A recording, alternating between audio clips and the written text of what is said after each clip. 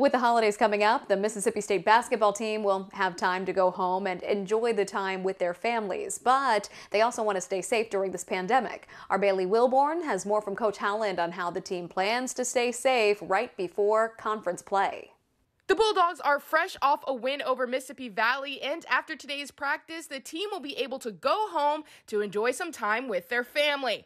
But with the pandemic, Coach Howland has stressed the importance to his team of being smart and safe while home this week. I mean, that's the whole key to our season is staying COVID free. And uh, I'm just putting my trust in them and the Bulldogs will officially begin conference play in a little over a week with their SEC opener against Georgia. Mississippi State will head to Athens for a road matchup and then come home for games with Kentucky and 14th ranked Mizzou.